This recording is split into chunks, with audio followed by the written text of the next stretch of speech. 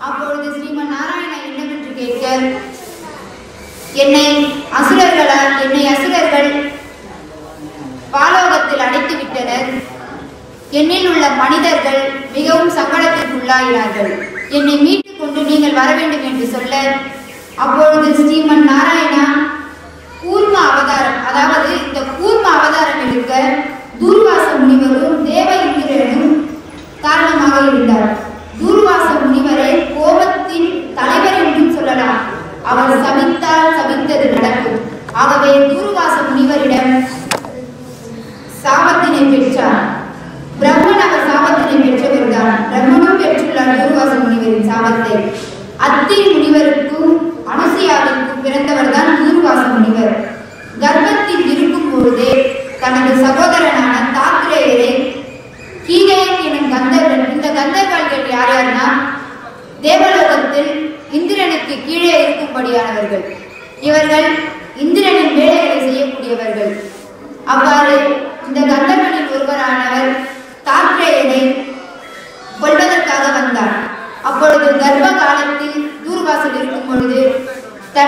அமைதியை கெடுக்க நினைப்பது யார் என்று சினத்துடன் கருத்தரித்த ஏழாவது நாளிலே பிறந்தவர் தான் இந்த தூர்வாசல் தூர்வாசல் கோபத்தின் தலைவர் என்றும் சொல்லுவார்கள்.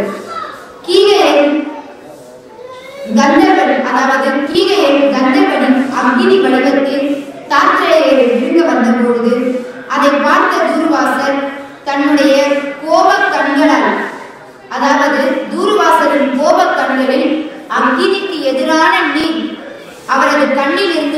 இருந்து அந்த கீகையனை கொண்டார் தூர்வாசர் எம்பெருமானையும் தேவி லக்ஷ்மியையும் தரிசித்துவிட்டு தேவலோகம் சென்ற பொழுது காசியவருக்கும் அகலியருக்கும் பிறந்தவர் இந்திரன். அமராவதி எனும் பட்டினத்தை சக்தி மிகுந்த வஜ்ராயுதத்தையும் ஐராவத எனும் யானையும் கொண்டு விளங்கினார் தூர்வாசரின் சாபத்தால் இந்திரனிடமிருந்த அனைத்து செல்வங்களும் பறிக்கப்பட்டு சாதாரண மனிதனாய் நின்றார் தன் தவறை உணர்ந்த இந்திரன் சாப விமோசனம் கேட்டு சென்ற பொழுது சாபத்தை போக்கும் சக்தி என்னிடம் இல்லை. நீ வைகுண்டம் சென்று ஸ்ரீமன் நாராயணனிடம் அதற்கான சாப விமோச்சனம் பேர் என்று சொல்ல எம்பெருமான் முன்னெடுத்துக் கொண்டு கொடுப்பதும் எடுப்பதும் உங்கள் கையில் இல்லை. வினையில்லை அதை உணர்ந்து கொண்டால் கர்ப்பம் பிறக்காது என்றார்.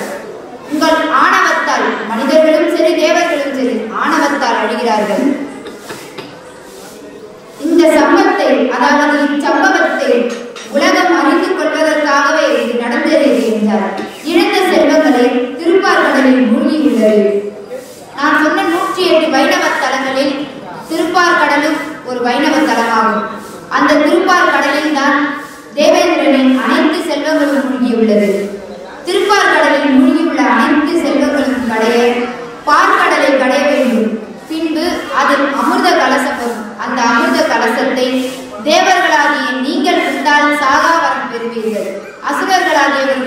ஆண்டவர் சாகாரம் பெற்று தேவர்களாகிய உங்களை கொடுமை செய்வார்கள் என்று ஸ்ரீமன் நாராயணர் சொல்லர் அந்த பார்க்கடலை கடைவதற்காக மந்திர மலை அதாவது மாத்திரகியை மலையின் மலையை மத்தாகவும் அஷ்டமா நாகத்தில் ஒன்றான வாசிகையை கயிற்றாகவும் கொண்டனர்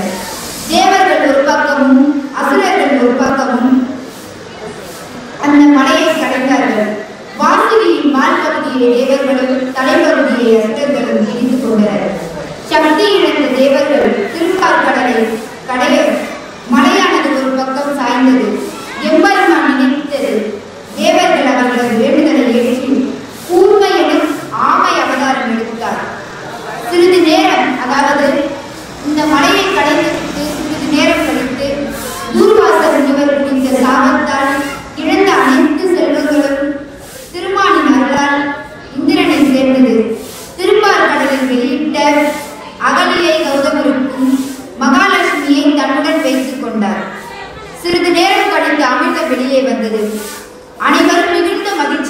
இப்ப தேவர்களும் அசுர அசுரர்களும் மிகுந்த மகிழ்ச்சியில் உள்ளனர். யார் அந்த அமுதத்தை சாப்பிட போறது?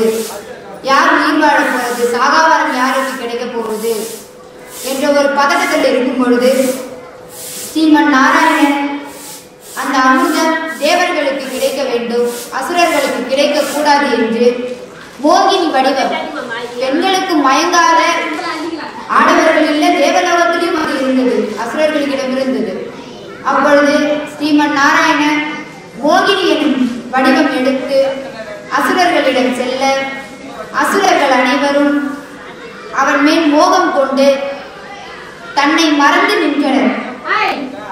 அப்பொழுது தேவர்கள் அமிர்தத்தை பருகி தேவர்கள் அமிர்தத்தை பருகி சாப விமோச்சனம் பெற்றனர். அசுரர்கள் முறை வரும்பொழுது திருமால்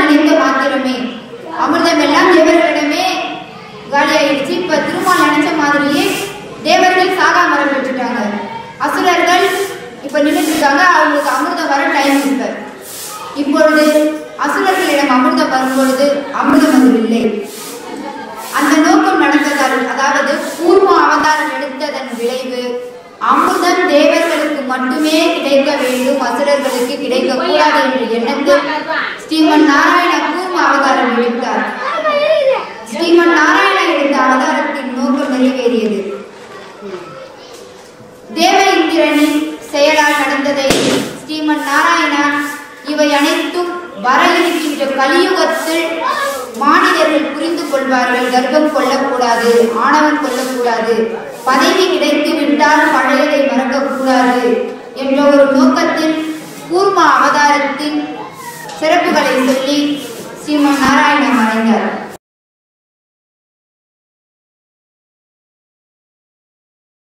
Oh.